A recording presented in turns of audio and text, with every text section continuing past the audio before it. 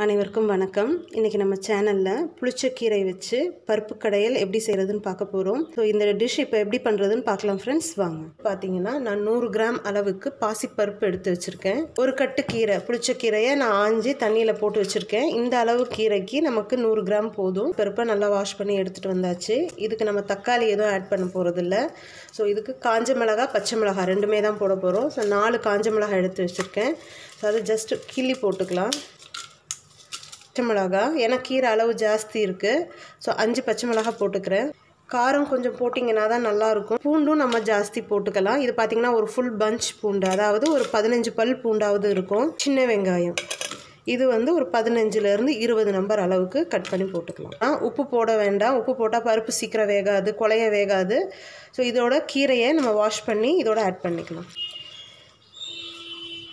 எப்பயும் கீரை வந்து சமைக்கும்போது குக்கரில் வச்சோன்னா ஒரே விசில் தான் ஏற்றி வச்சு ஜாஸ்தி வைக்கக்கூடாது. நல்லாவும் இருக்காது.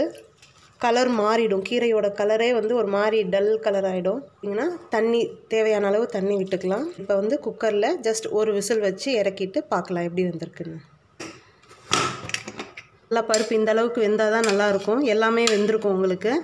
ஸோ இப்போது ஒரு சின்ன நல்லாயிருக்கும் ஸோ போட்டு இந்த சூட்டில் வந்து ஒரு ரெண்டு நிமிஷம் அதை வந்து புளி இருக்கட்டும். கொஞ்ச நேரம் அந்த புளி இந்த சூட்லேயே இருந்தால் கொஞ்சம் சாஃப்டாகிடும் அதுக்கப்புறமா நம்ம கடைஞ்சிக்கலாம்.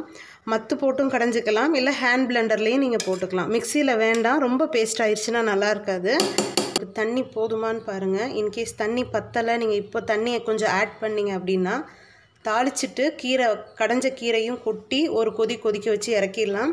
இன்கேஸ் நீங்கள் தண்ணி எதுவும் ஆட் பண்ணலை வேக வச்சதுலேயே தான் நீங்கள் கடைஞ்சிருக்கீங்க அப்படின்னா தாளிச்சு மட்டும் கொட்டினா போதும் கொதிக்க வைக்கணும்னு அவசியம் இல்லை.